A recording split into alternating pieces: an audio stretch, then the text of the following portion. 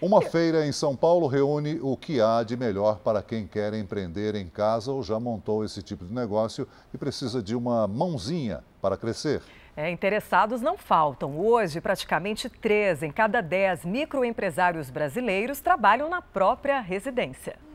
Cuidar de uma filha com síndrome de Down e, ao mesmo tempo, manter a rotina de advogada não dava mais. Este ano, depois de muito planejamento, Alessandra largou a profissão e virou empresária. Criou uma marca de roupas para crianças como a Helena, que é a modelo da grife. As crianças com síndrome de Down, é, elas são mais, vamos dizer, musculatura mais frágil, são mais molinhas. Então é difícil, não pode ter um botão, ela, a coordenação motora fina é mais difícil. O carro-chefe são as camisetas, mais padrão batinha, o short saia e a leg. Então ela tem uma cintura mais ampla, uma perna mais ampla que a criança possa colocar sozinha e ter autonomia, se vestir sozinha.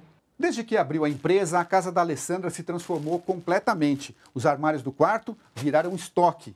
Este canto da varanda se transformou em escritório. E aqui nesse sofá, o provador e neste outro canto, o showroom com as peças que ela já criou. Essa tem sido uma tendência. Quase 2 milhões e meio de brasileiros tem empresa dentro da própria casa. Esta feira para empreendedores em São Paulo deve atrair 150 mil pessoas neste fim de semana. Há uma área exclusiva, com cursos e palestras para quem toca o negócio de casa. As dicas que a gente ouve aqui é super importante. Quase 30% das microempresas brasileiras funcionam na casa do proprietário. É um dos maiores problemas da mortalidade dos empreendedores de necessidade, que são aqueles que estão abrindo negócio por necessidade, é falta de planejamento e gerenciamento de fluxo de caixa. Falta uma orientação.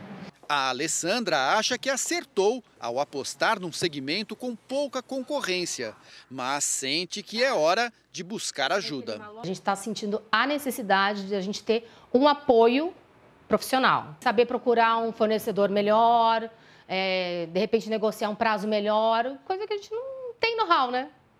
Estamos começando.